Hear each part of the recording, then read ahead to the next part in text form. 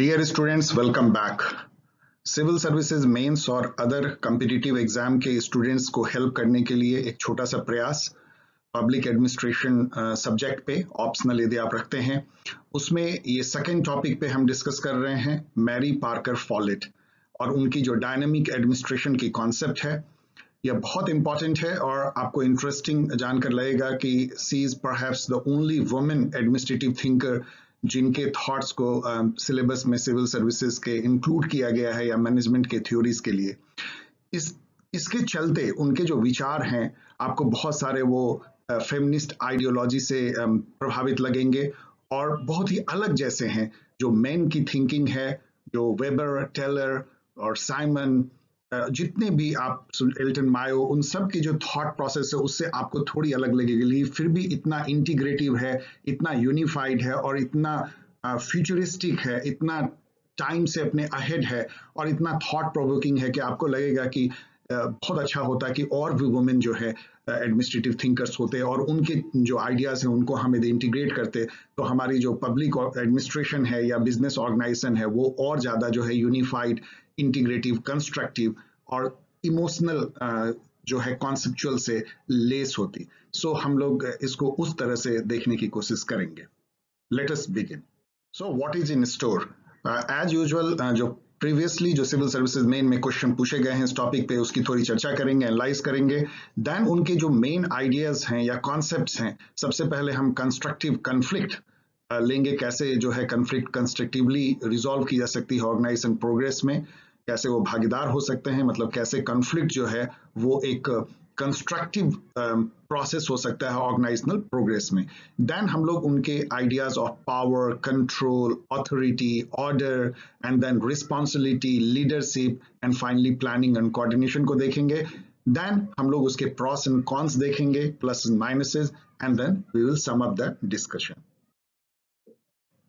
past years question यदि देखें तो 2018-19 में कोई क्वेश्चन नहीं है, लेकिन 2017 में है। Conflict is the appearances of differences differences of opinion and of interest Mary Parker Follett comment ये 10 मार्क्स के 150 वर्ड में आपको लिखने हैं। ये बिल्कुल इस वीडियो में कवर्ड है। हम लोग अभी चर्चा करेंगे। 2015 में Follett's work was not directed towards the resolution of conflicts of ideas but towards the resolution of structural conflicts between workers and capitalists in the light of the statement, critically evaluate Follett's idea of dynamic administration. ये आपको question hint देता है कि इन्होंने जो conflict resolution जो by integration by method of integration कहा था, वो कोई कन्फ्लिक्ट ऑफ़ आइडियाज़ नहीं है उस सेंस में जो हेगल ने बोला था, बल्कि बल्कि ये इम्प्लॉय और एम्प्लॉयर लेबर और बोर्जियोजिस जो प्रोलेटेरिएट एंड कैपिटलिस्ट के बीच में जो एक कंफ्लिक्ट ऑफ़ इंटरेस्ट होता है, उसके बारे में था। और इसको बेस बना करके आपको थोड़ी बहुत उनके अदर आइडियाज़ के बारे में भी लिखना है इस क्वेश्चन में। 2011 में है critically examine conflict resolution according to MP Follett explain how McGregor took forward her ideas to the context of complex organisation ये भी तीसरा क्वेश्चन डायरेक्ट है जो कि कंफ्लिक्ट कॉन्फ्लिक्ट रिजोल्यूशन पे है। तो आप समझ सकते हैं कि कंस्ट्रक्टिव कंफ्लिक्ट जो है वो exam examination point of view से ज़्यादा इंपॉर्टेंट है। 2008 में क्वेश्चन है Mary Parker Follett was far ahead of her times discuss ये तो आपको इन जनरल उनके जो आइडियोलॉजीज हैं, जो उनके डायनेमिक ऑर्गेनाइजेशन के जो कॉन्सेप्ट हैं, उसको ये साबित करते हुए लिखना है कि वो जो है बहुत फ्यूचरिस्टिक थे बहुत मॉडर्न थे और अपने टाइम से, उस समय जबकि उन्होंने 1925 में ये सब लिखा था, याद रखिए आप, जब क्लासिकल एडमिनिस्ट्रेटिव थिंकिंग का जमाना था साइंटिफिक मैनेजमेंट थ्योरी टेलर का उस समय और बेवर का बहुत प्रचलित था। तो उस समय से ये बहुत टाइम से आगे था। सो आपको ये लिखना है। बहुत ही जनरल क्वेश्चन है। 2005 में पूछा गया in Follett's view authority belong to the job and stays with the job explain तो इन्होंने जो अथॉरिटी का कॉन्सेप्ट दिया functional and expertise based authority जो कि जॉब और सिचुएशंस रिलेटेड होती है, ना कि पोजीशन एंड पर्सनालिटी से। ये भी बहुत डायरेक्ट क्वेश्चन है। इसको हम लोग देखेंगे। तो these are the past years question आप समझ सकते हैं किस रेंज के क्वेश्चन इसे पूछे जा रहे हैं। इनका एक ब्रीफ यदि स्केच लें ये मैं केवल आपको रखने के लिए नहीं बोल रहा हूँ, थोड़ी इसकी पर्सपेक्टिव भी समझने के लिए she was born and brought up in a wealthy family in Massachusetts USA आप बर्नार्ड से याद कीजिए, वो वो जो है गरीब फैमिली में थे, ये जो है एक वेल्दी फैमिली में है। She studied in University of Cambridge UK लेकिन उन्होंने पढ़ाई यूके में की and she was denied admission in Harvard क्या मतलब संयोग है कि बर्नार्ड जो है हार्वर्ड के ड्रॉप आउट थे और इनको हार्वर्ड में जो है एडमिशन नहीं मिला। Worked as social worker, community service, local recreational, educational and advocacy group. Basically वो political philosopher जैसी हो गई थी और social working and education and community development के field में काम करती थी structured way में. Uh, ever working experiences helped Parker develop her ideas of participatory democracy and her ideals of society as integrative. तो इनके जो core thought थे integration and participative democracy कि हर जगह जो है वो मिलजुल करके हो मतलब सबके सबका पार्टिसिपेशन हो, सभी स्टेक होल्डर ऑन बोर्ड हो डिसीज़न मेकिंग में एंड क्लोज कोऑर्डिनेशन हो, जो कि इंटरपेनिट्रेटिव हो, और एक यूनिफाइड होल हो इंटीग्रेशन हो ऑर्गेनाइजेशन या समाज या कम्युनिटी में, ये आइडिया जो कि उनके ओवर आर्किंग आइडियाज़ हैं, वो उनके इस तरह के एक्सपीरियंस से निकल के आए। She was social worker political philosopher turn business organisation and management thinker इनका बहुत सारा जो पार्ट लाइफ का था वो एज के एज ए पॉलिटिकल फिलोसफर बीता था लेकिन बाद में वो more and more business organisation की तरफ़ अट्रैक्ट होने लगी और उन्होंने मैनेजमेंट की थ्योरीज ऑर्गेनाइजेशन थ्योरीज पे काफ़ी काम किया लेकिन उनकी जो पॉलिटिकल फिलोसफी बैकग्राउंड था वो उस पर उन पर थोड़ा बहुत उसका इफ़ेक्ट इनके राइटिंग पे पड़ा She successfully applied political concepts of interest and power, conflict and participatory democracy in organizational theory and management. क्योंकि इनका बैकग्राउंड जो है पॉलिटिकल फिलोसफर का था तो जो आप देखिए कि इंटरेस्ट एंड पावर को कैसे उन्होंने यूज़ किया, जो कि पॉलिटिकल कॉन्सेप्ट है कन्फ्लिक्ट भी एक पॉलिटिकल कॉन्सेप्ट है, उसको और फिर पार्टिसिपेटिव डेमोक्रेसी इन सबको लेके उन्होंने ऑर्गेनाइजेशनल थ्योरी को एक सिस्टम अप्रोच में उन्होंने पिरोया इसको। वो इनका इनोवेशन था।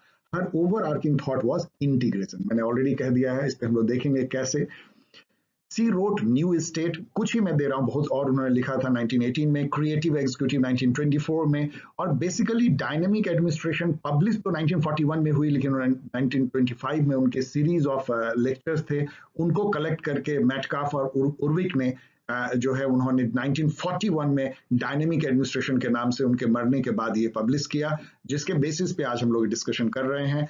She aptly mother of modern management and Peter Drucker ने उन्हें प्रॉफिट ऑफ़ मैनेजमेंट भी कहा है। She was a link between classical and neo classical theory और scientific and human relation school जो टेलर का साइंटिफिक मैनेजमेंट थ्योरी था और जो मायो का ह्यूमन रिलेशन स्कूल था, उसके बीच की ये कड़ी मानी जाती हैं और ये मॉडर्न बिहेवियरल जो अप्रोच है, उसकी भी जनक मानी जाती है। So we will now see in structured way some of the thoughts and concepts of organization theory and management theory by given by Mary Parker Follett. सबसे पहले हम इनके आइडिया ऑफ़ कन्फ्लिक्ट्स को देखते हैं ऑर्गेनाइजेशन में और कैसे कन्फ्लिक्ट जो है कंस्ट्रक्टिवली रिजॉल्व करके ऑर्गेनाइजेशन आगे बढ़ सकती है। मतलब कन्फ्लिक्ट हमेशा बुरा नहीं होता है।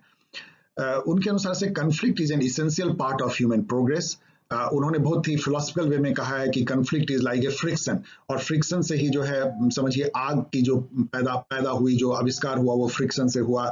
वायलिन जब बजती है तो उस पर फ्रिक्शन होता है। हम चलते हैं तो केवल फ्रिक्शन के चलते ही हम चल पाते हैं। तो फ्रिक्शन जो है वो मतलब एकदम नेचुरल है, वो होना मस्त है एंटागोनिज्म मतलब दो अपोजिट और और आप याद कीजिए हेगल के आइडिया का, जिन्होंने मैं बोला था कि जो सिविलाइजेशन प्रोग्रेस करता है, वो कन्फ्लिक्ट ऑफ़ आइडिया से करता है, जिसमें थेसिस होती है एंटी थेसिस होती है सिंथेसिस इनफैक्ट लगभग वैसा ही इन्होंने जो है कन्फ्लिक्ट ऑर्गेनाइजेशन के कॉन्सेप्ट में सोचा हेगल से। लगता है कि वो प्रभावित थी।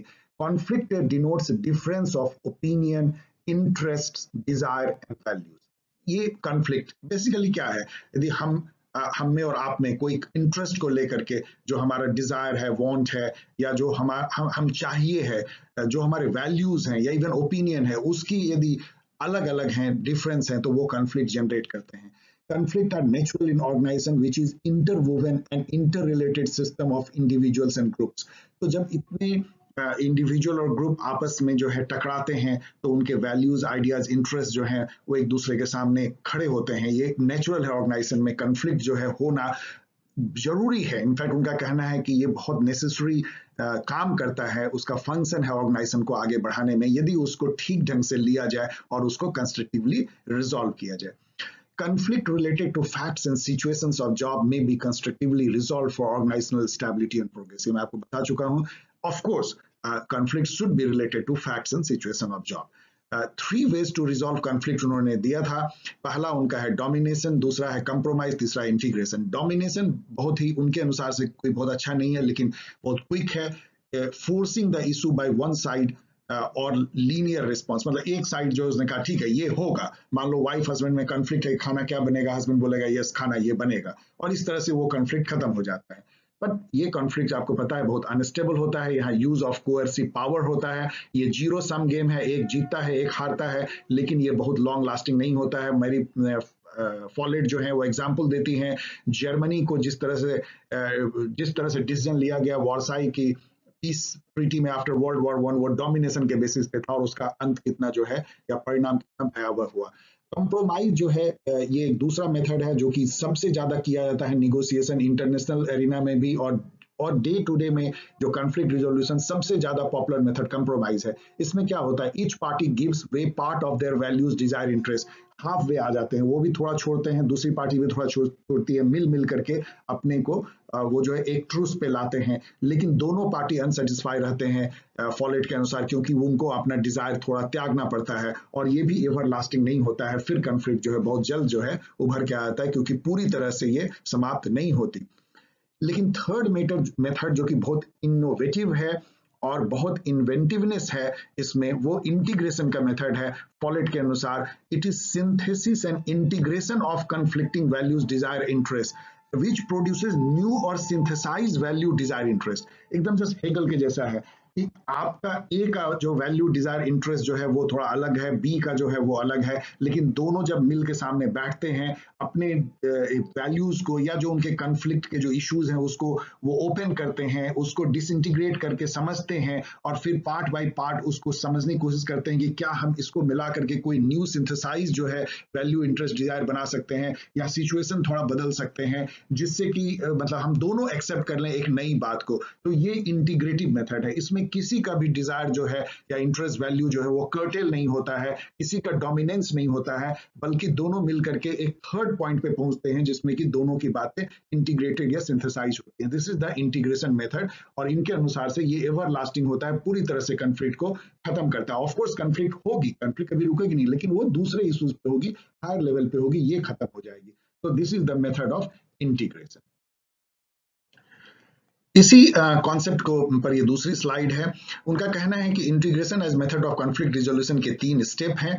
मैंने और लगभग आपको पिछले साल में बता, बता दिया है bringing the difference into open पहले वो कहते हैं कि पहले ये ठीक से एक्सप्लेन करो कि आपका इशू क्या है। दोनों पार्टी को जो है अनकवर करना चाहिए आइडेंटिफाई करना चाहिए अंडरस्टैंड करना चाहिए रियल इशू क्योंकि कई बार रियल इशू जो है छुपे रहते हैं वो लैंग्वेज में सिम्बॉल में ड्रामेटिक जो प्रेजेंटेशन होता है, उसमें छिप जाता है कि वो सामने वाला पार्टी बोल, बोलना क्या चाहता है या उसकी इश्यूज़ क्या हैं। देन सेकंड है breaking up the whole disintegrate to integrate इसको बोलते हैं डीकंस्ट्रक्ट करना। आप उस पूरे इश्यूज़ को जो है दोनों पार्टी के बिल्कुल पार्ट पार्ट पार्ट तोड़ दीजिए। और फिर जो है उसको इंटीग्रेट कीजिए, समझने की कोशिश कीजिए कि एक्चुअल इश्यूज़ है क्या। फिर थर्ड पार्ट है एंटिसिपेशन जो कि सबसे इंपॉर्टेंट है। उसमें सर्कुलर रिस्पॉन्स का उन्होंने कॉन्सेप्ट लाया, और या changing the situation circular response और एंटिसिपेशन क्या है? जैसे टेनिस का मैच होता है, सब उस गेम हो रही है, एक बॉल आता है, आप उसको, उसके स्पिन उसके स्पीड के अनुसार से उसको रिस्पॉन्ड करते हो। फिर सामने वाला जो है वो अपना रिस्पॉन्स बदल लेता है। यदि आपने फोर हैंड खेला है तो अपने बैक हैंड से आएगा, यदि आपने आगे मारा है तो आगे दौड़ेगा। इस तरह का रिस्पॉन्स जो है, उसी तरह से आपका निगोसिएशन में भी होता है इंटीग्रेटिव में। आपका जो इश्यूज़ है, उसको हम समझते हैं, फिर अपने हम चेंज करते हैं, अपने इंस्टेंस को री इवेल्युएट करते हैं, फिर आपको हम एक नई प्रोपोजिशन देते हैं। आप अपने इश्यूज़ या वैल्यूज़ को री एवेल्युएट करते हैं, फिर आप सामने कुछ आते हैं। इस तरह से सिचुएशन को बदलते हैं। हम अपने इवेल्युएशन को री इवेल्युएट करते हैं, अपने इंस्टेंस को हम बदलते हैं, इस तरह से कि वो इंटीग्रेट हो जाए। तो these are the three steps but इसमें जो है बहुत प्रॉब्लम भी है, इसके कई प्रॉब्लम उन्होंने गिनाए हैं। इंटीग्रेशन मेथड के पहला है lack of intelligence anticipation inventiveness ऐसा होता नहीं है, इतनी इंटेलिजेंस इन्वेंटिवनेस होती नहीं है, इतनी एंटिसिपेशन की जो है गुंजाइश नहीं होती है निगोसिएशन में। देन हम लोगों के अंदर हैबिट होता है डोमिनेंस का, उसमें मज़ा आता है जब किसी को सामने आप हंस करके कोई डिसीज़न करवाते हैं तो वो थ्रिल नहीं मिलता है। पॉलिट का कहना है कि तो बहुत टेम और बहुत डल अफेयर होता है इंटीग्रेशन से वो इसमें मज़ा नहीं आता हमारी जो हैबिट है ह्यूमन कर्स है। Theorizing the problem rather than taking them as proposed activity or practical issue needing immediate solution. कई बार जो है प्रॉब्लम को हम इतना बड़ा बना लेते हैं, उसको ऐसा थ्योराइज कर देते हैं, उसको ऐसा स्टोन पास कर देते हैं कि ये नहीं सोचते हैं कि ये प्रॉब्लम तो सॉल्व हो सकता है, इसको हमको इमीडिएट सॉल्यूशन चाहिए। तो ये भी एक ऑब्स्टिकल है। लैंग्वेज जब हम यूज़ करते हैं, वो खुद एक कन्फ्लिक्ट बन जाती है, उसमें यदि बैड लैंग्वेज यूज़ हो ऑफेंसिव लैंग्वेज यूज़ हो, और वो सिंबल से ढकी रहती है, उसमें रियल इशू छिप जाता है लैंग्वेज के तले। अनड्यू इन्फ्लुएंस ऑफ़ लीडर कई बार जो है लीडर्स जो हैं वो इस तरह से माइंड फ्रेम कर देते हैं अपने फॉलोअर्स का, खास करके लेबर जब एम्प्लॉयर से जब डील करता है कलेक्टिव बार्गनिंग करती है तो उसमें लेबर यूनियन या जो मैनेजमेंट के जो लीडर होते हैं, उनका रोल बहुत ही पॉजिटिव नहीं भी हो सकता है। एंड फाइनली जो है लैक ऑफ़ ट्रेनिंग इसको इंटीग्रेशन मेथड को अपनाने के लिए एक खास मैनेजमेंट स्किल चाहिए ट्रेनिंग चाहिए बोथ साइड को एम्प्लॉय साइड को और एम्प्लॉयर साइड को, या दोनों ग्रुप को, या इंडिविजुअल्स को, वो ट्रेनिंग भी लैक होती है वर्क प्लेस पे। तो these are the obstacle to the method of integration now इनके सेकेंड कॉन्सेप्ट पावर को हम लेते हैं। इन्होंने पावर को दो पार्ट में बांटा दो तरह से। देखा इन्होंने कोअर्सिव वर्सेस कोएक्टिव और creative power let's see she defines power as ability to make things happen to be a causal agent मतलब कुछ कोई काउज इसी एक्शन का टू और टू इनिशिएट चेंज पावर आपको पता है कि बहुत ही जनरल uh, वे में हम कह सकते हैं कि power is the ability to get the desired outcome uh, get get the desired outcome or get the desired work done or get the uh, desired behavior from somebody else even against his wishes जैसे Robert del कहते हैं कि यदि A B को उसके desire के against कोई कार्य करने को विवश कर सकता है तो ए का बी के ऊपर पावर है। ये एक जनरल जो है पावर ओवर का कॉन्सेप्ट है। लेकिन हाना आर्डेंट को आप याद करें उन्होंने पावर विथ का कॉन्सेप्ट दिया टुगेदर जो हम क्रिएट करते हैं को क्रिएट करते हैं, साथ मिलकर के ग्रुप में वो पावर है। ये हाना आर्डेंट जो है, इनसे प्रभावित है मैरी फॉलिट से। आप देखिए ये क्या कहते हैं कि पावर ओवर वो है जो कि कोअर्सिव है डिसइंटीग्रेटिव है। एक तरह का आप समझिए, वो आर्बिट्रेरी है और वो ट्रांजिटरी है, उसमें वो ताकत नहीं है। लेकिन पावर विथ जो है, वो क्रिएटिव है को एक्टिव है और उसमें वो एनर्जी है जो कि समाज को आगे बढ़ा सकता है। तो आप यहाँ इनका फेमिनिस्ट आउटलुक देखिए और कितना ये अलग है मेन के कंसेप्शन ऑफ़ पावर से।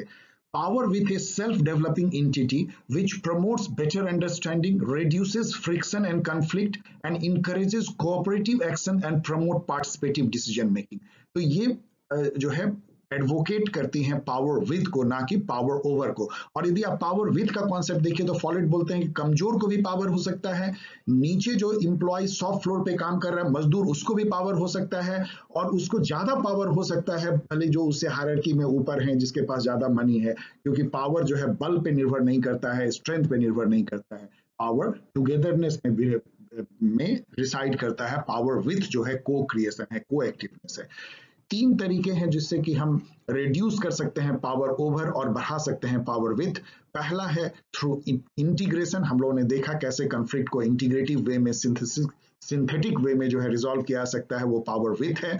Together through recognising that all should submit to the law of situation मतलब कोई आदमी आदमी को कंट्रोल नहीं करे, आदमी आदमी को ऑर्डर ना दे सुपीरियर सबॉर्डिनेट को कंट्रोल ऑर्डर ना दे, बल्कि सभी ऑर्डर जो हैं वो सिचुएशन से ड्रॉ करें। सिचुएशन उसको कंट्रोल करे। इसको लॉ ऑफ़ सिचुएशन उन्होंने नाम दिया। And through making the business more and more functional unity having more and more functional unity क्योंकि ये ऑर्गेनाइजेशन को एक यूनिफाइड ऑर्गेनिज्म की तरह देखती है, जहाँ पावर ऑथोरिटी रिस्पॉन्सिबिलिटी डिस्पर्स्ड है, वो पूरी फैली हुई ऑर्गेनाइजेशन में डिफरेंट डिफरेंट जगह पे और हर पार्ट जो उसका है, वो इंटरवुवन है एक यूनिफाइड होल में और हर पार्ट को फंक्शनल ऑटोनॉमी है जस्ट लाइक बॉडी में सेल को फंक्शनल ऑटोनॉमी होती है और अपने अपने फंक्शनल एक्सपेक्ट एस्पेक्ट में उनको अल्टीमेट अथॉरिटी है और रिस्पॉन्सिबिलिटी है। So this is the way she views the organisation तो ये तीन मेथड से पावर विथ पावर विथ को बढ़ाया सकता है पावर ओवर को कर्टेल किया सकता है। और इसको यदि आप ऑथोरिटी से लिंक करें, क्योंकि authority is nothing but vested power as per Follett तो power and authority can not be delegated क्यों? क्योंकि वो जॉब से जुड़ा होता है फैक्ट से जुड़ा होता है सिचुएशन से जुड़ा होता है फ़ंक्शन से जुड़ा होता है पावर ऑथोरिटी इसीलिए power can not be delegated but it can be developed by creating suitable conditions और लीडर्स जो होते हैं, वो पावर क्रिएट करते हैं। Together that is power with जो है अपने फॉलोअर में वो क्रिएट करते हैं। So this is the very very innovative concept of power जो कि हाना आर्डेंट के भी थॉट में दिखता है कई सालों बाद। यदि हम इनके ऑथोरिटी के कॉन्सेप्ट को देखें, आप बार्नार्ड को याद कीजिए, उन्होंने कॉन्सेंट या एक्सेप्टेंस थ्योरी ऑफ़ ऑथोरिटी दिया था। लगता है कि बार्नार्ड इससे बहुत ज़्यादा प्रभावित हैं। इन्होंने भी उसी टाइप की बात की। कोई मतलब कि down the line command and control authority जो बेवर ने कहा था, वैसा नहीं। Follett defines authority as vested power and the person with authority has the right to develop and exercise power ये तो ठीक है। Authority belongs to the job and stays with the job इसका मायने क्या है? कि authority does not come from ownership और a formal position in organise उनका कहना था कि ऑथोरिटी पोजिशन से भी होती है। आप किस पोस्ट पे बैठते हैं, आप हायर हैं लोअर हैं ऑथोरिटी पर्सनैलिटी की भी होती है, जो कि करस्मेटिक पर्सनैलिटी जो बेबर ने भी कहा, उससे भी ऑथोरिटी आती है। और ऑथोरिटी जो है फ़ंक्शन से आती है। इनका फोकस जो है फंक्शनल ऑथोरिटी पे था।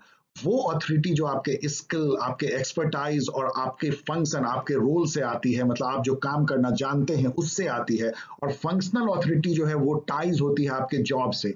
इसलिए वो जॉब को बिलोंग करती है स्टेज विद द जॉब वो आपके पर्सन में बिलोंग नहीं करती, आपके पोजिशन में बिलोंग नहीं करती है।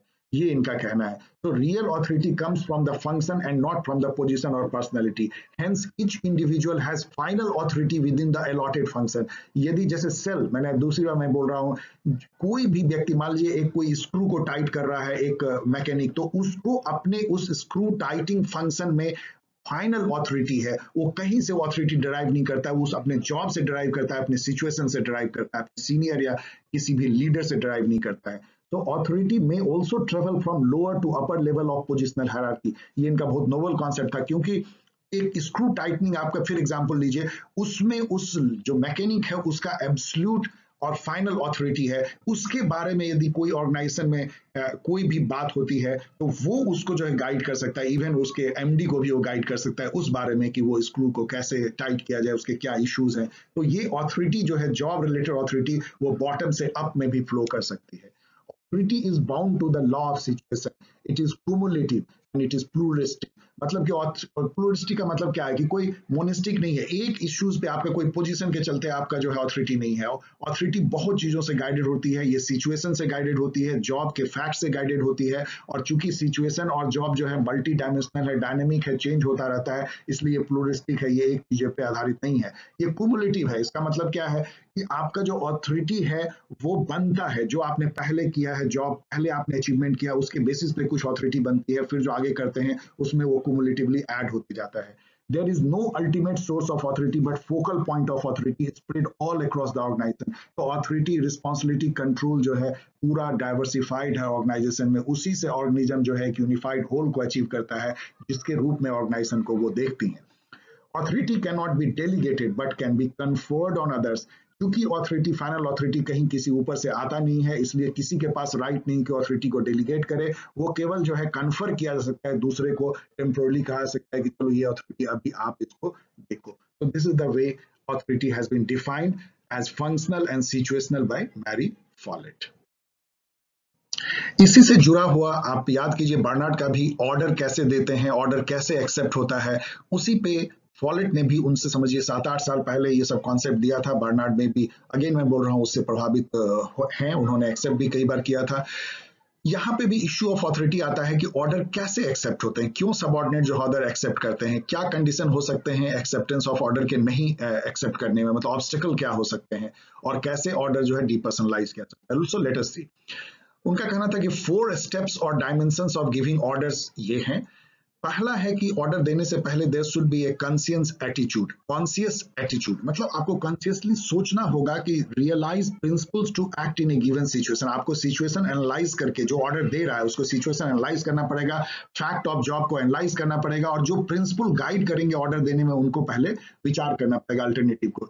देन सेकेंड स्टेप है responsible attitude decide upon the principle to act upon तब आप उन सभी प्रिंसिपल्स में से जो बेस्ट उस सिचुएशन उस फैक्ट ऑफ़ जॉब के लिए है, उसको चूज़ कीजिए। थर्ड हैंड एक्सपेरिमेंटल एटीट्यूड लेकिन यदि आपके पास कोई पुराना एक्सपीरियंस नहीं है, जो सिचुएशन एकदम नया है, एकदम डायनेमिक है, कोई पास्ट एक्सपीरियंस नहीं तो आप एक्सपेरिमेंटल जो है एटीट्यूड अपनाते हैं, कुछ ऑर्डर देते हैं, देखते हैं कैसा ये होता है, क्या ये मेथड या रूल अपना, अपनाता है सबॉर्डिनेट फाइनली है pooling results from others experience ये ये है कि ऑर्गेनाइजेशन में जो पर्टिकुलर गिवन सिचुएशन में क्या ऑर्डर दिए गए थे और कैसे उसका रिस्पॉन्स हुआ, यदि इसका एक पूरा डेटाबेस बनाया जाए तो एक मैनेजर जो है, उसके सामने यदि कोई एक्सपीरियंस आता है तो वो देखेगा, क्या ये पास्ट एक्सपीरियंस किसी और मैनेजर ने किसी और डिपार्टमेंट में इसको फेस किया था? उस समय उन्होंने कैसा ऑर्डर दिया था? उसका क्या परिणाम रहा था? इसको कहते हैं polling results from others experience these are the four steps और dimensions of giving order Once order is given, there may be many obstacles in acceptance of the order.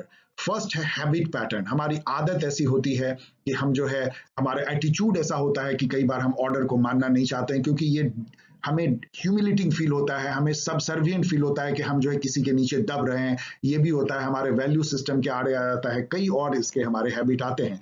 इसका सॉल्यूशन फॉलिट ने ये दिया कि आप एटीट्यूड बिल्ड कीजिए subordinate में उन जैसे जस्ट जैसे सेल पर्सन करता है, उसके बाद आप रिलीज़ कीजिए उस एटीट्यूड को, वहाँ पे उसको टिपिंग पॉइंट पर लाइए, जहाँ पे कि आपकी बात को मानने के लिए वो लगभग तैयार हो जाए।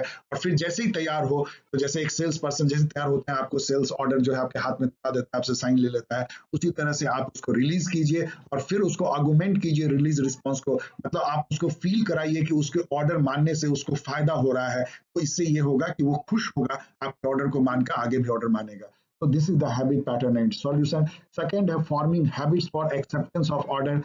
Make understand desirability of order. लोगों को समझाइए कि ऑर्डर मानने से क्या फ़ायदा है changing rules making acceptance of new method early adopter आप तैयार कीजिए जो कि आपके ऑर्डर को मान करके लोगों को इंस्पायर करें उस ऑर्डर या न्यू मेथड को मानने के लिए और इंटेंसिफाई कीजिए एटीट्यूड को क्योंकि और लोगों को ऑर्डर मानने के लिए तैयार करें देन थर्ड है कि डिसरिगार्डिंग कॉन्टेक्स्ट जो आप प्लेस सर्कमस्टांसेस सिचुएशन इन सबको यदि आप ठीक से नहीं एनालाइज करते हैं, उससे अलग होकर के यदि आप ऑर्डर देते हैं जो कि कॉन्टेक्स्ट के अनुसार से नहीं है या उसके कन्फॉर्मिटी में नहीं है तो आपका ऑर्डर जो है डिसरिगार्ड हो जाएगा।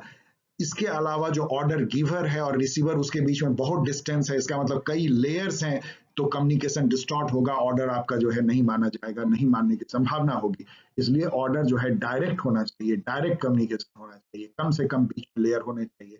Then failure of integration through circular response आपको हमने बताया कि सर्कुलर रिस्पॉन्स क्या होता है, जो कि सामने वाले के रिस्पॉन्स पे बेस्ड होता है, और एक तरह का कुमुलेटिव रिस्पॉन्स होता है। जैसा रिस्पॉन्स फिर आपने फिर उसने उसके, आपके रिलेशन के बेसिस पे और आपके रिस्पॉन्स के बेसिस पे दूसरे का रिस्पॉन्स इसको सर्कुलर रिस्पॉन्स बोलते हैं। इसको इंटीग्रेशन में हेल्प होता है।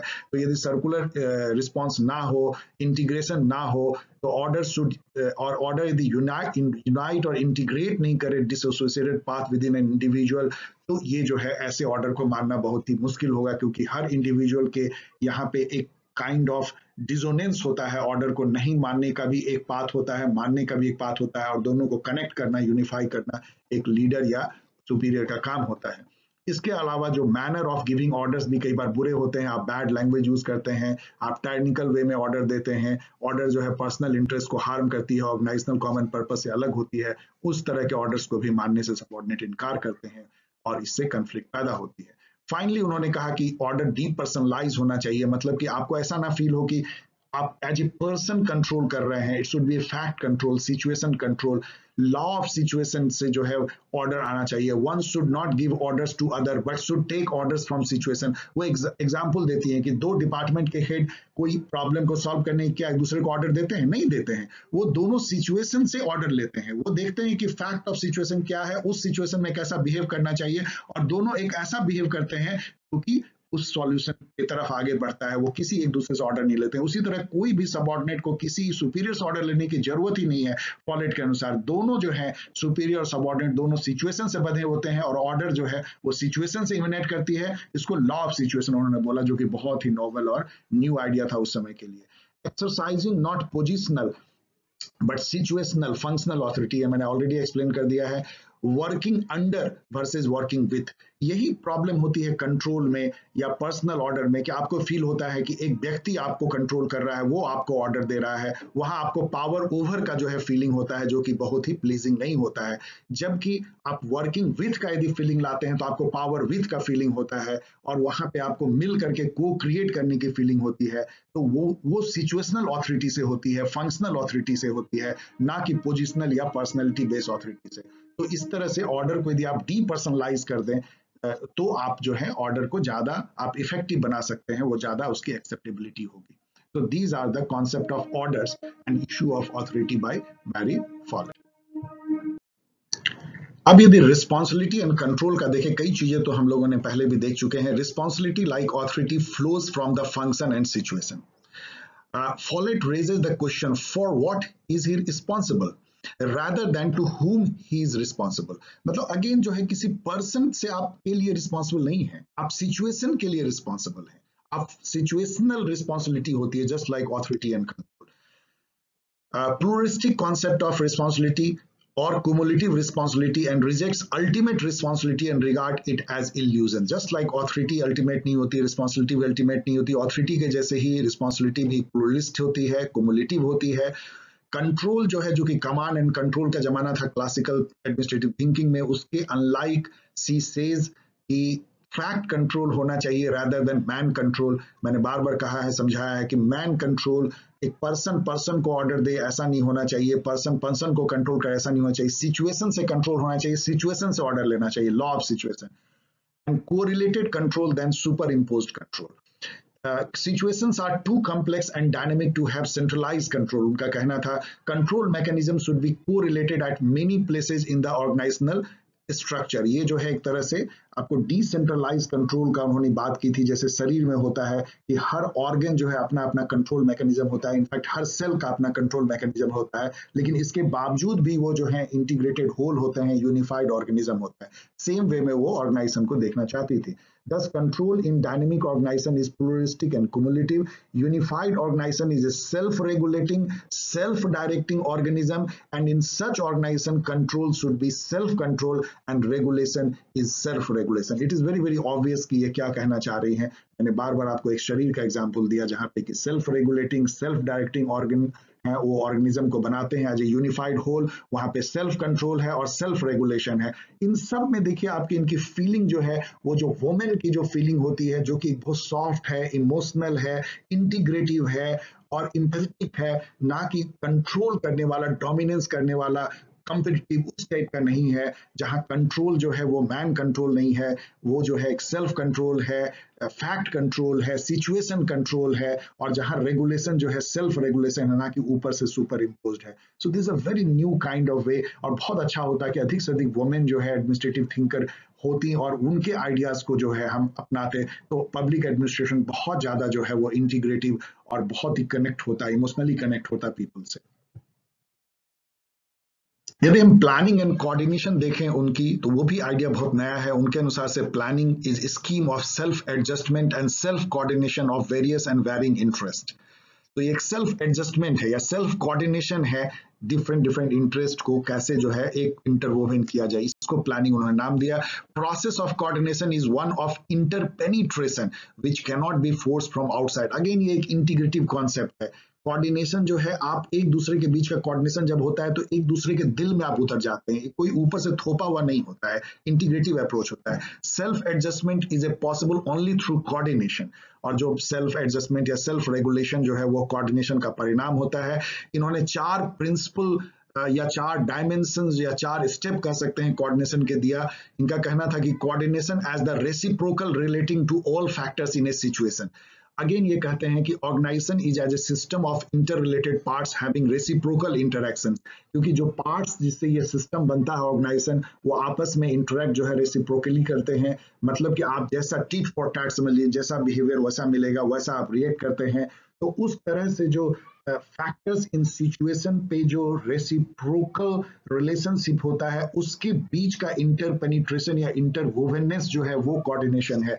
कोऑर्डिनेशन बाय डायरेक्ट कांटेक्ट उनका कहना है कि लैटरल कम्युनिकेशन होना चाहिए बिटवीन रिस्पॉन्सिबल पीपल जैसे एग्ज़ाम्पल उन्होंने मैंने फिर से दे रहा हूँ दो डिपार्टमेंटल हेड है तो सीधा वो डायरेक्ट कम्युनिकेट करें। वो बेस्ट जो है कोऑर्डिनेशन उससे होती है instead of any formal communication coordination in early stages इनका कहना है कि यदि कोई प्लानिंग स्टेज में ही आप इंप्लॉयज को सभी लोगों को इंडिविजुअल को ऑर्गेनाइजेशन में सभी ग्रुप को साथ लेते हैं लेबर यूनियन को साथ लेते हैं तो आपका वो प्लान सक्सेसफुल होता है, वो इम्प्लीमेंट सही ढंग से होता है। आप अर्ली जो है, लोगों में एक्सेप्टेबिलिटी उसकी जगाते हैं। ये नहीं कि आपने कोई प्लान बना लिया, उसको डिक्लेयर कर दिया और फिर सभी लेबर यूनियन को और इम्प्लॉयज को बोलिए कि आपको इसको इम्प्लीमेंट करना है। उस केस में आपकी एक्सेप्टेबिलिटी उस प्लान की बहुत कम होगी और सक्सेस उसका रेट कम होगा।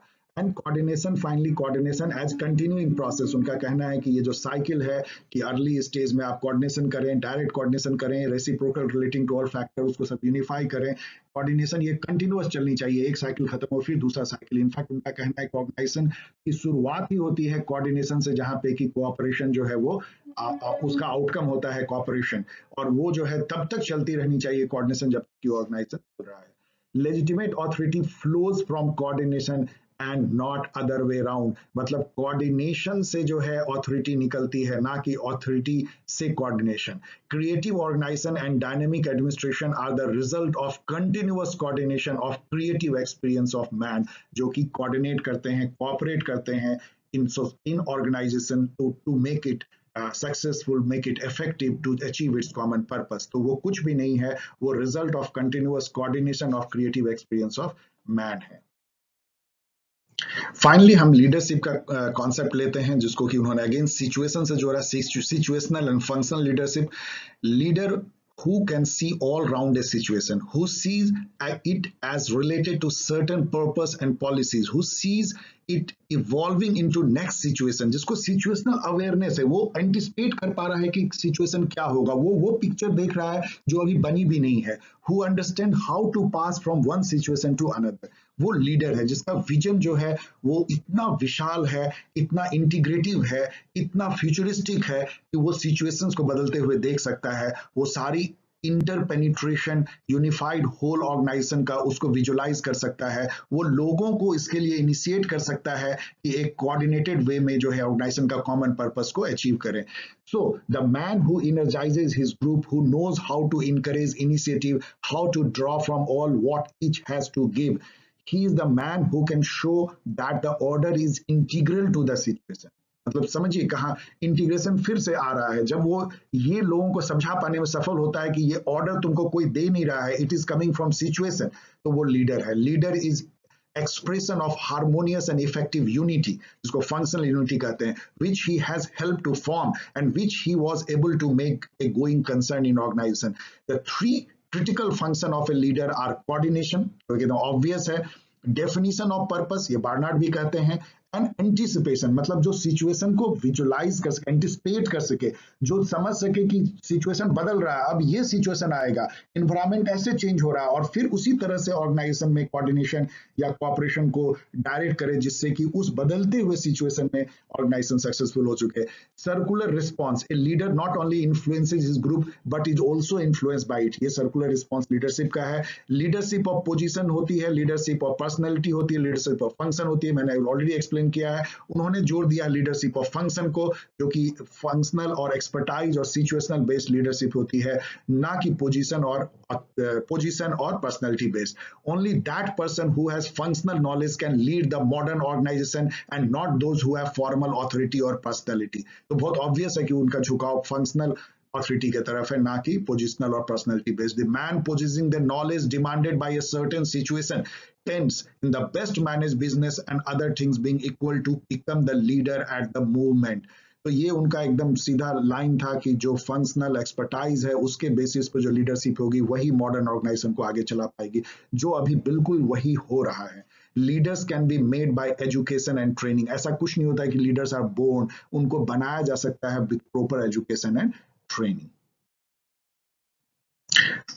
अब फाइनली यदि हम इसके pros and cons plus and minuses को देखें, इनके जो थॉट हैं फॉलेट के प्लसेस तो बहुत हैं she was harbinger of behavioural science and human relation approach to organisation theory जरा आप टाइम याद कीजिए 1925 में उन्होंने ये सब लिखा था, जिस समय classical management theory organisation theory जो है, वो एक मेन स्ट्रीम था, लेकिन उससे हट करके उन्होंने जो है बिहेवियरल साइंस की नींव रखी ह्यूमन रिलेशन अप्रोच की नींव रखी, जिसको एल्टन मायो और साइमन इन सबने आगे बढ़ाया। Link between classical and neo classical school of administrative thought इसलिए ये जो है लिंक माने जाते हैं दो पैराडाइम के बीच में क्लासिकल और मॉडर्न के बीच में। Injected social community and political philosophy aspect in organisation and management theory मैंने आपको कहा है कि by training by her orientation she was a political philosopher and social community worker उसको उन्होंने लेकर के वो यहाँ आई interest power conflict participative democracy इन सब जो पॉलिटिकल कॉन्सेप्ट है, उसको उन्होंने ऑर्गेनाइजेशन को एक सिस्टम वे में पिरोया, ये उनकी इनोवेटिवनेस थी। Gave path breaking concept of constructive conflict law of situation situational leadership these all were much ahead of time. In fact अभी भी बहुत ज़्यादा रिसर्च उस पर नहीं हुआ है। अभी भी उनको वो क्यों नहीं मिला है? परहैप्स कुछ लोग कहते हैं कि वुमेन होने के चलते क्योंकि she was the only leading women and that's true in 1925 जहाँ पे कि मैन का वर्ल्ड रहा है, ये ऑर्गेनाइजेशनल थिंकर्स का, उसमें ये ऑड वन आउट थी और उनके जो आइडियाज़ थे कॉन्सेप्ट उनको बहुत तवज्जो नहीं दी गई है। उनको जो है उतना नहीं श्रेय मिला है जितना बार्नार्ड या साइमन या टेलर या वेबर को मिला है तो ये एक आ, सोचने की बात हो सकती है कि क्या हमने उनके साथ जस्टिस किया है। Influence great administrative thinkers like Barnard जो मैंने आपको बार बार बोला है आप गौर से मेरे बार्नार्ड के वीडियो को देखें इसको तो आप में कई सिमिलरिटी मिलेगी। पीटर ड्रकर ने तो उनको जो है प्रॉफिट ऑफ़ मैनेजमेंट बोला है। उन्होंने मैट्रिक्स काइंड ऑफ़ ऑर्गेनाइजेशन जो मॉडर्न टाइम अपनाया गया वो फॉलेट से प्रभावित था और जापानीज पर्टिकुलरली कार मेकर्स ने तो इनको अपना करके ग्रेट सक्सेस अचीव किया। इनके माइनसेस भी बहुत क्रिटिक जो है वो उठाते हैं। कुछ जो है वो ओवर इम्फेसाइज किए जाते हैं। Uh, बहुत लोग कहते हैं कि it was too much normativism and idealism बहुत ज़्यादा जो है वो आइडियलिस्टिक है। लाइक like, उनका जो इंटीग्रेशन का जो कॉन्सेप्ट है वो इल्यूजनरी है। वो कभी हो नहीं सकता। ऑर्गेनाइजेशन में उस तरह की होती नहीं है। और ये बात फैक्ट में सही भी लगता है कि मोस्ट ऑफ़ द निगोसिएशन जो है कंप्रोमाइज के बेसिस पे होती है ना कि इंटीग्रेशन के बेसिस पे। Inconsistent unsystematic random ideas and concept इनका पूरा जो डायनेमिक एडमिनिस्ट्रेशन जो पूरा नॉवल या जो जो बुक निकाली गई, वो भी एक कलेक्टेड पेपर्स था। तो एक तरह का बहुत सिस्टमेटिक जैसे बेबर ने थ्योरी दिया, या टेलर ने दिया, या साइमन ने दिया। उस टाइप के बहुत सिस्टमेटिक थ्योरी इनका मिलता नहीं है, वो एक डिमेरिट मानी जा सकती है। Could not provide lasting organisational theories such as scientific management और human relation and ideologies of cooperation integration conflict resolution and consensus were out of sync with reality of organisational life during those times तो ये तो fact है कि उस समय से चूँकि बहुत आगे थी तो उस समय के रियलिस्ट रियलिस्ट जो सिचुएशन था ग्राउंड पे, उससे उनकी आइडिया जो है बहुत ज़्यादा आइडियलिस्टिक नज़र आती है। So these were some of the minus So dear students, just to sum up this long discussion, Mary Parker Follett viewed organization as social system in which each part is functionally interwoven into a unified system, which primarily consists of individuals and group in reciprocal relationships and circular responses. For Parker Follett, cooperation is not given, rather it is outcome of organizational process. So ऐसा नहीं है इसे cooperative social system कहा organisation को बारना इनका कहना है cooperation was not given rather it is outcome of organization process conflict in organization are natural because of differences of opinion, values, interest, and desire. By way of integration, conflicts can be resolved constructively and towards organizational progress. In integration, neither side dominate or compromise, rather a synthetic value interest are accepted. Authority and responsibilities should be tied up to job, function, and situation. Thus, authority and responsibility shall be spread across organization, pluralistic and cumulative. Orders should not from the superior to subordinate or man to man. Rather, it should come from situation or facts of job. Instead of man control, there should be fact control. Control should be functional, situation and decentralized. Power is ability to get desired outcome, but it should be power should not be power over, which is arbitrary and disintegrative. Rather, power should be power with, which is democratic, creative, coactive, and integrative.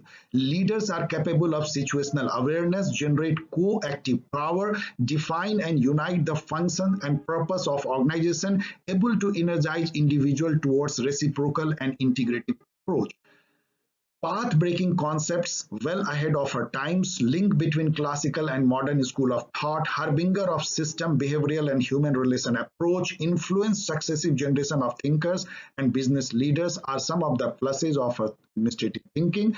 Idealistic, vague and illusionary concepts such as integration, inconsistent, unsystematic, random ideas and concepts, inability to profound to propound administrative theory for practicing managers, ideologies, concepts out of sync with reality of organizational life during those times are some of the minuses of her thought.